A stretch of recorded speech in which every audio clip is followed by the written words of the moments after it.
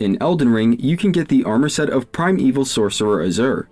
This guide will cover most steps required to get it, starting in the open world. Prerequisites that are not covered in this video are shown on screen now, and there will be some spoilers for Sellen the Sorcerer's questline as is required for the guide. Also, feel free to make use of the timestamps I put in this video's description to skip ahead if necessary. First, you'll want to go to Waypoint Ruins in Limgrave and meet Sellen the Sorcerer if you haven't already. Agree to learn under her tutelage and exhaust all of her dialogue. Next, you will need to acquire the legendary Comet Azur Sorcery. To reach the area where it's located, a secret method of transportation to Volcano Manor will need to be utilized. Start by traveling to the Schoolhouse Classroom Site of Grace at Raya Lucaria Academy. Now that we're at the schoolhouse, we can move on to the hidden path, which will require dying, so you'll want to ensure that you have little to no runes on your person before starting. Starting at the site of Grace, head back outside to the giant rotating lifts, make your way to the opposite side where the lifts can be ridden down, hitch a ride and wait till the lift drops you off at the bottom. There is a long-tail cat talisman you'll want to grab real quick. It grants immunity to fall damage, though I'll be honest, it doesn't seem to work for me. Then, counterintuitively, we are going to try and get the abductor here to snatch us up and snack snack snack on us, and you have to die specifically to that animation slash move. Now again, this will kill you, but not to worry, you'll reappear in what appears to be actual hell. From here, make a mad dash along the same path you see me taking in the video to arrive at a site of grace.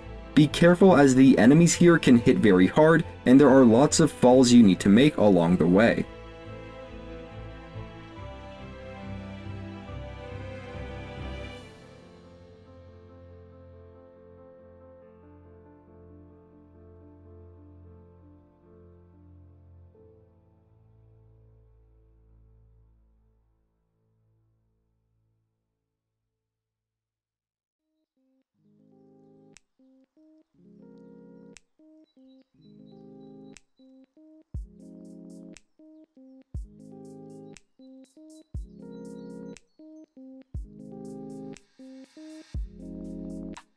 Once at the site of grace, continue onward to face your abductors.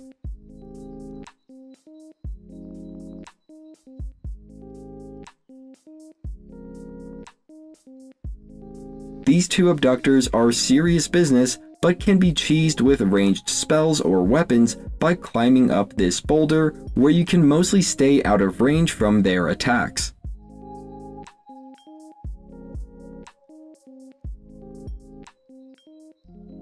Assuming you defeat them, rest at the site of grace before heading outside into another new area.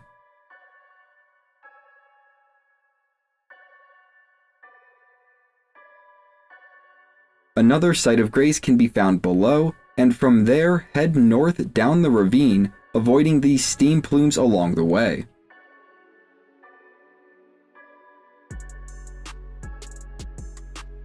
After a short time traveling, you'll see a flame light up near a rocky alcove. This is the entrance to Seethewater Cave, and a stone sword key will allow you to access the site of grace inside. From there, you'll need to head further west along the ravine,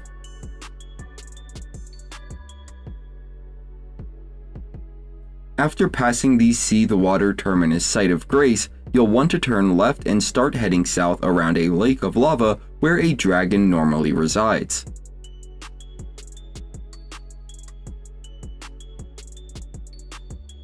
Following the natural path, you should eventually start heading east and then north after passing the Craftsman's Shack site of Grace,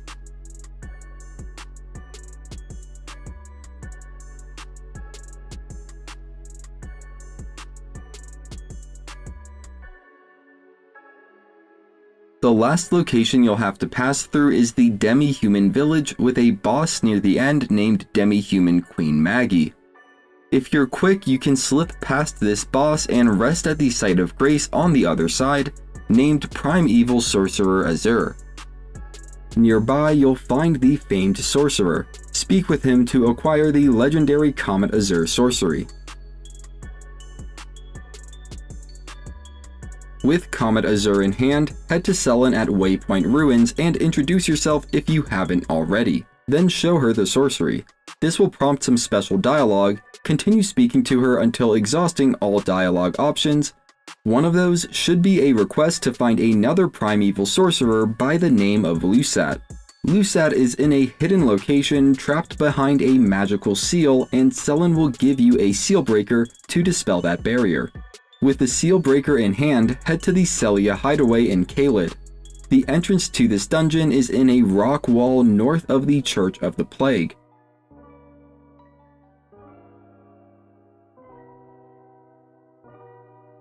It's obscured by an illusory boulder that will fade when struck by an attack. I'll show the quickest path to reach the seal, which is in the largest cavern area of the hideaway, but there are other things to do at this location, so keep that in mind. After chopping through some illusory walls that I've already taken care of, we'll enter the first large cavern and then make our way partway through it.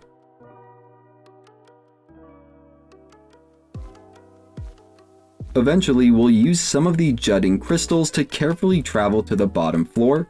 There will be a sorcerer down here guarding the magic seal.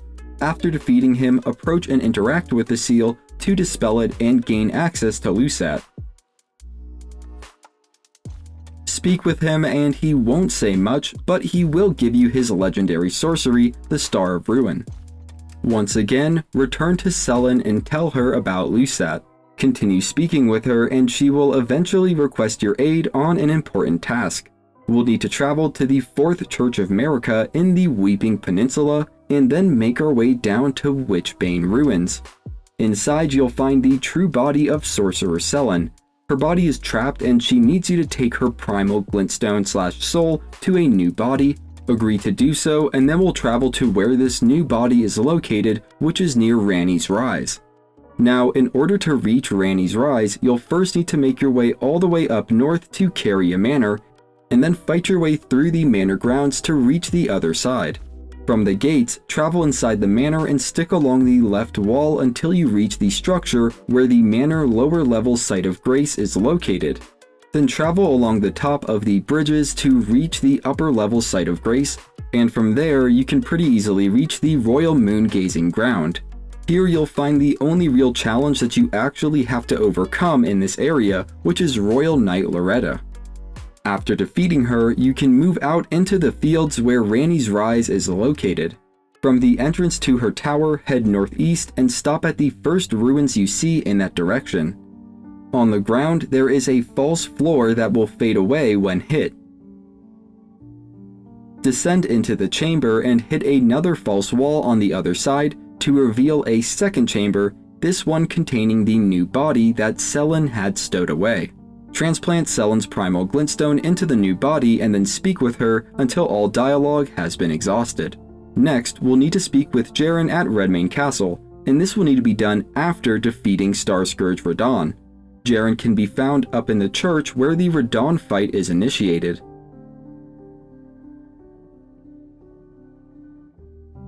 Speaking through all of his dialogue, he'll mention that he's leaving to tend to some unfinished business. After that, travel back to the Witchbane ruins. There, you'll find Jerren and a bloodied corpse of Sellen's previous body. Again, you'll want to speak with Jerren until he's gone through all of his dialogue. Getting near the end here, the next step will require that Rennala, Queen of the Full Moon, has been defeated.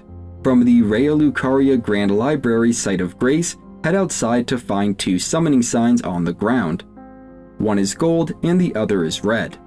If you take the red sign, you'll be summoned to assist in the defeat of Sellen the Sorcerer, but for our purposes, we'll want to use the gold summoning sign to help defend her from Jerren. Defeat Jerren and then speak with Sellen in the Grand Library, going through all of her dialogue. After that, sit back down at the site of grace and Sellen should vanish. At this point, we should be able to get the armor. Go back to where Azur was first found, which is easy because there is a site of grace right next to him. Instead of Azur, you'll find his armor sitting on the ground, waiting to be picked up. The helmet in this set, Azur's Glintstone Crown, increases the damage dealt by Azur's primeval sorceries. Comet Azur is the only example of an Azur primeval sorcery that I'm aware of, and the one downside is that this sorcery will cost more FP to cast. If you want to see more great Elden Ring guide videos, you can head over to my channel, and if you're new, consider subscribing. You're helping me feed my cat, her name's Marshmallow. Have a great day if you're here today, have a great Thursday, and as always, thanks for watching.